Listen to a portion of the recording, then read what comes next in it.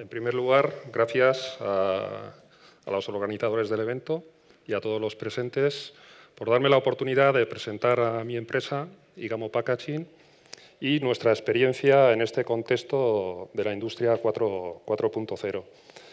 Eh, además de presentar la propia tecnología en sí, mi, propósito en esta, en esta, breve ponencia eh, es eh, mostrar o demostrar que una pyme de las características de IGAMO, una empresa de unos 75 trabajadores, con un proceso seriado, con un producto, digamos que commodity, sin un departamento de I+.D., sin ni siquiera presupuesto en su planificación anual dedicado al I+.D., es capaz de generar innovaciones de cierto calado de proceso y de producto. Es decir, las pymes no solo somos eh, receptoras de tecnología, sino que también somos potenciales generadores de innovación. Sin más, eh, voy a presentar mi empresa. Eh, Igamo, Igamo Igamo es el acrónico de Ignacio Amozarrain, que hace 27 años puso en marcha una planta de, producción de estuches, de estuches de cartón en Legutiano, Álava. Eh, IGAMO, una de las características eh, que caracterizan a, IGAMO eh, es su predisposición por incorporar a sus procesos tecnologías de, tecnologías de vanguardia. Eso digamos que está dentro de, nuestra, de nuestro ADN. Hemos sido bastante, a lo largo de nuestra historia, bastante atrevidos en ese sentido. De hecho, fuimos de los primeros que incorporamos eh, la tecnología CTP en preimpresión, que incorporamos máquinas de doble torre de barniz, que incorporamos innovaciones también en, la tecnología de color, como la trama concéntrica. Y eso es una de las razones que, bueno, que hacen que, esté en este momento aquí explicando también una, nueva, una, nueva, innovación. ¿no? Es ese, ese sentido, ese atrevimiento. ¿no? Eh, nuestro producto es el, eh, estuche, estuches, de, estuches de cartón para diversos sectores, sector industrial, sector de automoción, farmacia, cosmética y, alimentación. Este producto, en concreto, esta, esta parte, este segmento de, productos dedicados a la alimentación, en los últimos años ha cobrado bastante protagonismo en nuestra cartera. Más del 50% de nuestro producto va dedicado a ese, a ese segmento. Como veis, es un producto muy, muy cotidiano, muy presente en los lineales de las grandes superficies y no en vano se dice que, bueno, el envoltorio, el packaging, el, envoltorio del, producto pues es un, factor crítico en la decisión de compra y en la experiencia de compra de los consumidores. Para que os hagáis una idea de lo que es las, dimensiones de, como PYME, somos unos 75 trabajadores, tenemos una cartera de 220 clientes, eh, utilizamos 18.000 metros cuadrados, el cartón pues, ocupa bastante, bastante espacio y a pesar de las, de las pequeñas dimensiones a nivel de recursos humanos, pero necesitamos mucho espacio. Facturamos unos 18 millones de euros de facturación, de los cuales 15% aproximadamente es para, eh, para la exportación. El cartón, por desgracia, no viaja muy bien y el 90% de lo que exportamos es para, para Francia. Fabricamos 300 millones de estuches al, año. O sea, 18 millones, entre 300 millones de estuches, pues el valor del estuche es relativamente, relativamente bajo, bajo valor añadido. Nuestra materia prima es el cartón. El cartón en diferentes formatos, en pliegos de diferentes formatos, en función de las dimensiones del estuche y de las características técnicas y estéticas del estuche. Este cartón sufre una serie de transformaciones la primera de ellas es eh, una impresión. Imprimimos los diseños de nuestros clientes, los imprimimos sobre el cartón, utilizamos máquinas de última generación y controles en línea. Esto sería un pliego de cartón en el que veis que en el mismo pliego tenemos eh, el, mismo estuche, el mismo estuche repetido. En el siguiente proceso, el proceso de troquelado, lo que hacemos es cortar ese cartón, perfilarlo y conferir los, eh, los hendidos. Esas, esas eh, líneas punteadas que podéis observar Esos serían los hendidos. Lo que, la función de los hendidos es que al final el, estuche doble por donde tenga que doblar en la estuchadora de nuestros clientes o internamente en nuestras pegadoras.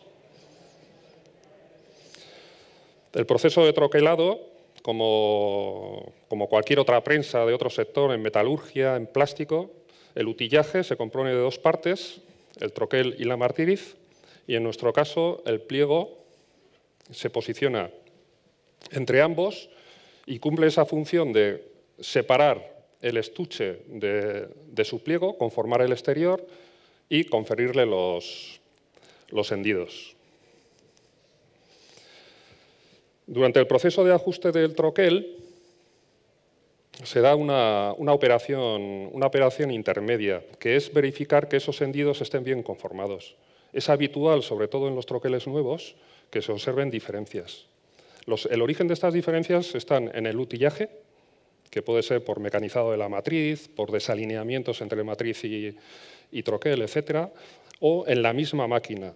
Durante la vida útil de la máquina se producen desajustes mecánicos que influyen en un reparto irregular de la presión a lo largo de la matriz, de la plancha de la máquina. En el estuche se observan irregularidades, discontinuidades, eh, puede ser diferencias de altura, de, espesor. Entonces, esas deficiencias las corregimos mediante una operación adicional en el ajuste del troquel, que es eh, la utilización de un papel vegetal, y sobre ese papel vegetal ponemos unos adhesivos de colores. Cada adhesivo de color corresponde a un espesor determinado. Es decir, si tengo un hendido con un espesor bajo, pues le añado un adhesivo rojo 0,25 y lo voy corrigiendo. Eso que parece eh, a priori una, solución válida, bajo una perspectiva de mejora de costes o de lean manufacturing, es claramente una, una ineficiencia. Eh, en primer lugar, porque todos esos papeles vegetales los tenemos que almacenar. Tenemos 2.500 troqueles en IGAMO. En segundo lugar, porque un troquel va en varias máquinas. Si va en varias máquinas, duplicamos el número de, el número de, arreglos. A esto le llamamos arreglo. Aunque parezca un poco paradójico, es el arreglo. Estamos arreglando algo, en vez de arreglarlo en, su origen, que es el troquel y en la máquina, pues es eh, más cómodo, o ha sido más cómodo hasta ahora, y lo hacemos sobre, sobre, este, sobre este formato. Bien, pues en una, eh, en una acción rutinaria de mejora continua, en concreto en un SMED, eh, intentando mejorar los tiempos de cambio, nos propusimos, eh, por una parte, mejorar el, el, almacenaje de estos arreglos, pues cambiándolos de la ubicación, poniéndolos más cerca de la máquina para evitar menos desplazamientos y, por otra parte, acelerar el tiempo de, preparación de uno de, estos, de unos de estos arreglos. En concreto, pues reduciendo el número de adhesivos eh, que era necesario para, corregir los, los, estuches. Y ahí salieron varias soluciones también. Aparte de estas, alguien dijo, ¿qué tal si eh, grabamos el arreglo para posteriormente proyectarlo, grabarlo quiere decir digitalizar el arreglo, para posteriormente en órdenes de fabricación siguiente lo digitalizamos y de esa forma ya no, no nos tenemos que preocupar de almacenar nada ¿eh? y eliminamos ese, papel vegetal. Pues eso que parecía pues, a priori una idea disruptiva o alocada, eh, esa misma tarde hicimos una prospección eh, vía internet de centros tecnológicos o de entidades privadas que creíamos que nos podían echar una mano en este, este sentido y encontramos a Bicontec. Es un centro tecnológico dentro de la red de IK4. Tuvimos esa, esa suerte y la verdad es que nos, nos atendieron, yo diría, con, con, entusiasmo, con ilusión. Al día siguiente teníamos tres investigadores de, de Bicontec en la planta de, en la planta de Igamo eh, sobre el terreno, eh, analizando la, analizando la, problemática, la casuística de, IGAMO y dándonos la confianza de que ellos tenían la tecnología que nos la podían transferir y personalizar a nuestro caso particular.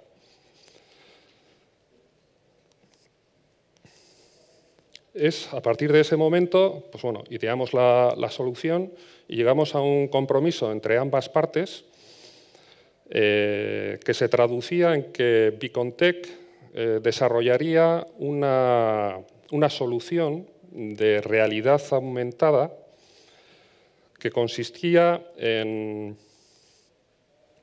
digitalizar, perdón, en, proyectar el perfil CAD del troquel sobre la plancha de la máquina, ya no sobre un, sobre un soporte de papel vegetal, sino directamente sobre la plancha. Eh, y luego eh, los adhesivos que pusiésemos sobre esa, sobre esa plancha, volverlos a grabar para volverlos a utilizar en, en futuras, en futuras fabricaciones. Eso por una parte. Y por otra parte, desarrollar un software que permitiese predecir el deterioro tanto del troquel como de la máquina. Y de esa forma poder actuar con suficientemente antelación para evitar eh, correcciones futuras sobre el mismo, sobre el mismo arreglo. Bueno, eh, recientemente lo hemos, puesto, lo hemos puesto en marcha.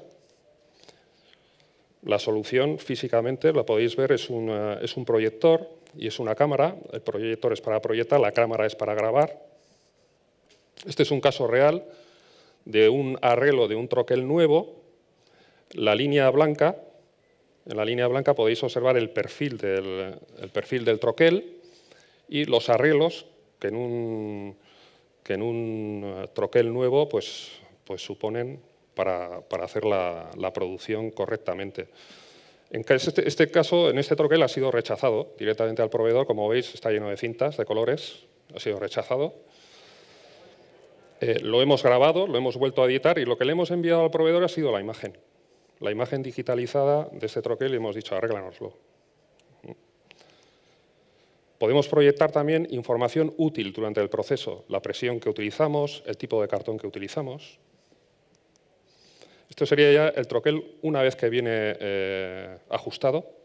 Lo único que hemos puesto es una cinta azul, tema resuelto. Lo grabamos y ya lo tenemos para la siguiente, preparado para la siguiente orden de fabricación. Eh, hemos, eliminado el, hemos eliminado el papel vegetal La interfaz que nos, eh, que nos ha construido Bicontech pues es eh, bastante amigable, yo diría hasta, que, hasta minimalista, muy sencilla. Eh, tenemos dos, dos, menús, uno para buscar aquellos trabajos que ya están en marcha, que ya son repetitivos, y para los trabajos nuevos. tenemos las opciones de proyectar, de grabar, de calibrar. Todo lo que estamos haciendo en la máquina, todo está también en la pantalla. Lo que estamos, cuando estamos elaborando un arreglo, cuando estamos poniendo un adhesivo, lo que proyectamos, todo está en la pantalla. Esta es una opción muy útil. Esta es la pantalla del jefe de taller. Cada vez que se hace un, un cambio en un arreglo, hay un aviso y el jefe de taller le tiene que dar el visto bueno. Tiene que analizar qué es lo que ha pasado aquí. Si hay exceso de arreglos, veis en, la imagen de la derecha que lo puede editar. Es decir, bueno, esto lo voy a quitar, va al proveedor, lo corrige o incluso si ve un estuche que, tiene una deficiencia puede añadir también algún color. Esta es la parte del software, la parte predictiva. Podemos elegir eh, entre fechas eh, y mediante un tratamiento de los datos se pueden establecer eh, tendencias. Esta, por ejemplo, sería una imagen, un mapa de calor en el que entre dos fechas vemos dónde se nos están acumulando los arreglos en la máquina y podemos establecer o adelantar la, adelantar la solución. Bueno, esto que vemos aquí, pues ese proyector eh, pues ahí colgando con, con, la cámara, pues no parece que sea el lugar natural o la posición natural de, física de, esta solución. Eh, por eso, además de plantear este tema como una innovación de proceso, la hemos planteado también desde el punto de vista de una innovación de producto. Yo creo que el, lugar natural lo hemos dibujado, porque quizás en un futuro, el lugar, porque al final es como, como poner el parrot en, eh, en, el espejo retrovisor. ¿no? O sea, no, es como algo, realmente su posición natural es que esté integrado en la, en la, misma, en la misma troqueladora. Y por ese motivo nos hemos atrevido a, a patentar la, la, solución. Esta solución está patentada y esperemos que, que atraiga la atención de, los fabricantes de bienes de equipo. Desde el punto de vista marketingiano, pues incluir una solución de este tipo de, datos pues puede ser un plus para los fabricantes. Entonces, bueno, el mensaje es ese, que una pequeña empresa como nosotros pues hemos servido y, a, partir de una iniciativa de mejora continua hemos sido capaces de generar, casi sin querer, y con la ayuda de, un centro tecnológico de nuestro entorno, una innovación de proceso, por una parte, y una innovación de, de producto. Muchas gracias.